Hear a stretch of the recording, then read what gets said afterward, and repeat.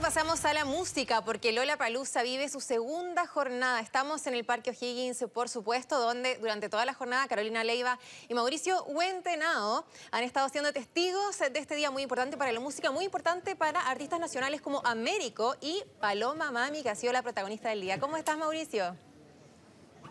Muy bien, Claudia. Así es como tú lo decías, una jornada donde los chilenos han sido lo importante también de este festival. Los saludamos desde acá, desde uno de los accesos, precisamente del Parque O'Higgins, donde están cayendo algunas gotas, eh, como estaba pronosticado, de hecho, y algo que ocurrió también durante el día y que alertó un poco a la gente que estaba en ese momento en el Parque O'Higgins, pero afortunadamente no pasó a mayores y el tránsito y también los shows se pudieron realizar de manera programada y ordenada. Una jornada que tuvo cerca de 80.000 personas, al igual que ayer día viernes, eh, participando de este festival, que ya es la novena versión en nuestro país, una segunda jornada que también tuvo a más de 30 artistas en los varios escenarios y como bien tú decías, los chilenos fueron parte importante de la parrilla de este día sábado. Uno de los que hace pocos minutos bajó ya del escenario es Américo, un chileno esperado por el público que asistía a Lollapalooza y que también estaba expectante a ver este debut. Un debut que tuvo también un cover de Jorge González cantado por Américo. Él lo comentó también en sus redes sociales que tenía eh, la venia de este artista para cantar una de sus principales canciones. Por lo tanto, conversamos con Américo justamente minutos antes de subirse al escenario de Lola Palusa y esto fue lo que nos dijo. Que sigan estos espacios quedando abiertos, abiertos para las próximas versiones, abiertos también para, estas inclusiones que, también creo vienen a, evidenciar lo que está pasando también con la, con la industria. Hace un, hace un rato estos cruces, de cómo ha, cambiado la, música, eh, de también las nuevas tendencias.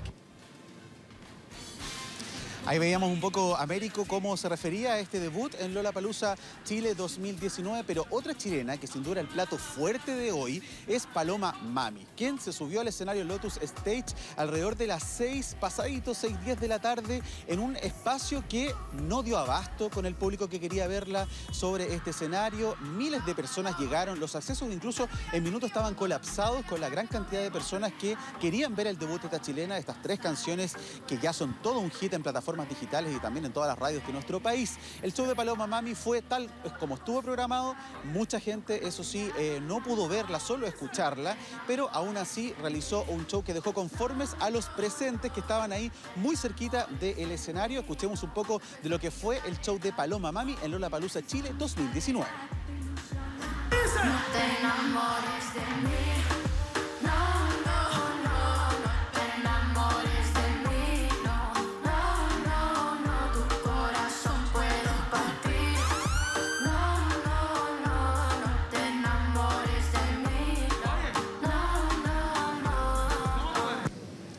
Bueno, ahí veíamos parte del show de Paloma Mami en Lola Palusa 2019, un debut que fue aplaudido por los que lo pudieron ver tanto en las plataformas digitales, también en streaming, que también era una transmisión que se realizaba en ese momento, pero lo que sin duda todo el mundo esperaba era conversar con ella, saber cómo se sintió arriba del escenario y bueno, ahora Noticias tuvo la oportunidad de tener un cara a cara con Paloma Mami a minutos de haberse bajado del escenario y esto fue lo que nos dijo. Me, habían dicho antes de, salir, dijeron que está muy loca las personas, que está gente desmayándose. Entonces, para salir yo tenía que calmarlos y no sabía en verdad cómo calmar todo un público de gente, pero por lo menos trata y dije, calmación, chiquillos, por favor, perrear con respeto, todo eso. Y yo como, jaja. En ese momento cuando dije que sí para Lola Palusa, cuando confirmamos, era Lotus y tenía una canción, entonces ellos no se imaginaron que iba a necesitar un escenario más grande, oye. Pero sí, para la próxima entonces. Bueno, veamos cómo Paloma me explicaba un poco básicamente la razón por la cual no se pudo presentar un escenario un poco más masivo también, pero sin duda dejó contentos a los que la pudieron ver y por supuesto la dejó satisfecha a ella en este debut esperado. Para mañana se espera ya Joe Vasconcelos, Ana Sam Smith también y Artis Monkey son algunos de los que van a cerrar esta jornada tercera de Lola Palusa Chile 2019, así que lo dejamos invitados a ser parte también de las transmisiones de Ahora Noticias en redes sociales que estamos haciendo como siempre un gran trabajo junto a todo nuestro equipo. Así es, en todas nuestras plataformas, porque por supuesto que estamos en Lola Palusa. Muchas gracias, Mauricio. Buenas noches.